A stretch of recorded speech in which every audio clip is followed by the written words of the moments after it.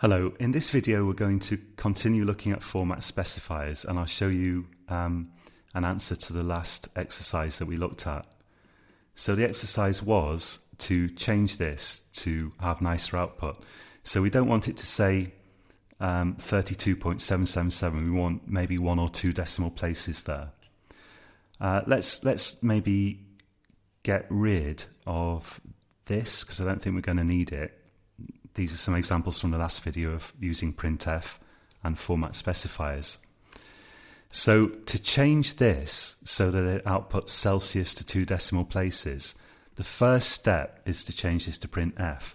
Now, if you tried to do the exercise from the last video and you couldn't do it, feel free to pause this video at any moment and then try to do it when you feel you've got enough hints of how to do it. Okay, so I'm changing this to printf, and then because I want a new line at the end, uh, I'm going to put a backslash n in it. Although that doesn't make any visible difference here because I've only got one line being output. So if I change this to printf, you, you can't tell that it's there's no new line at the end of it because there's only one line anyway. But let's put that in in case we output more lines. So I'm going to put backslash n at the end there and that doesn't look any different so far. Okay, um, so instead of putting Celsius here, instead of concatenating it into the string, I'm going to just have one string and I'm going to put percent %f in it. And then after, so then um, this is one complete argument to printf. It's, it's one single string because I'm concatenating this string, sorry, this double value, uh, or yeah, it's double value. I'm concate concatenating that with this string to make one single string. So now I'm going to put a comma in and I'm going to supply a second argument. The second argument is going to be the value in Celsius, converted value. So that's going to be substituted into this percent %f here. Let's run it. Okay, so now it looks how it did originally, but the value of doing this is that we can now specify how many decimal places we want. So we can say percent, let's say 0.1, I'll just have one decimal place, percent 0.1 f.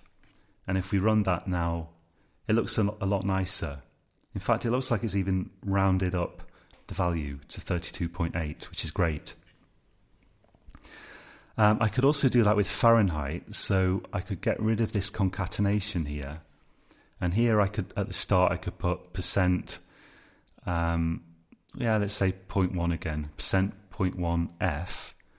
So now the first format specifier is the, the value in Fahrenheit. So that's going to be my first argument after this argument. So the second argument, I'm going to write Fahrenheit. And then the third argument is Celsius, and it's going to replace this. So that they're replacing these uh, these arguments here, second and third arguments to this printf method, are replacing the format specifiers in order.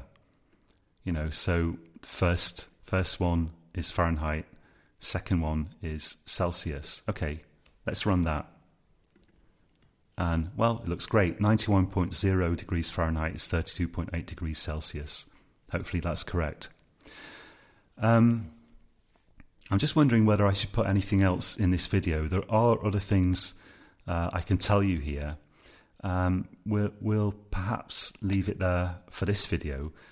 Try that out yourself and get it working and uh, see how it looks. Okay, so until next time, happy coding.